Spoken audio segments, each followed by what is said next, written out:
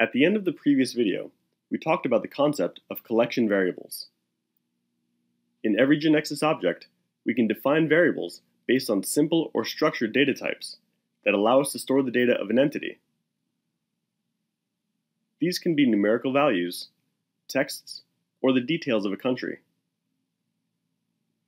We've seen that when defining a variable, we can select the isCollection checkbox to set this variable as a collection. Collection variables, regardless if they're numeric, character, or SDT collections, will offer their own methods for managing that collection. The count method allows us to know the number of elements in the collection. It returns that number, so it's a read-only method. The add method allows us to add an element to the collection. By default, this element is added at the end of the collection, but it's possible to change its position. For example, if we want to load the collection of countries in the database, how do we do it?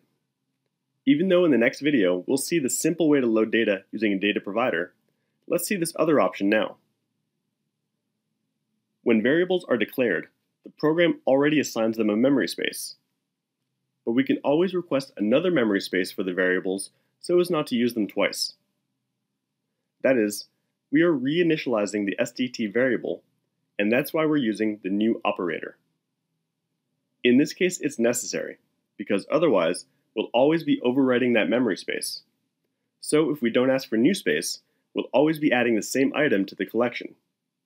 And we'll have a collection of n items with the same values. The reason is that the country item variable is not restarted after the add action, as you might think. The remove method allows you to remove an item from the collection from its index. The range of the indexes starts at 1 and ends with the value returned by the count method.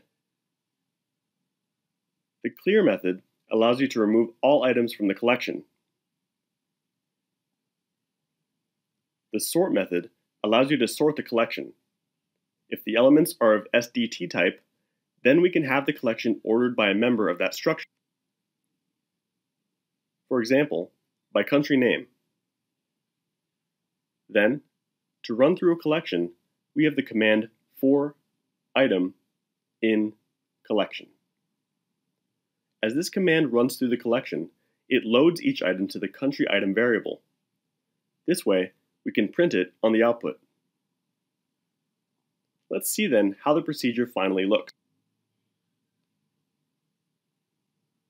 To see it running, we press F5.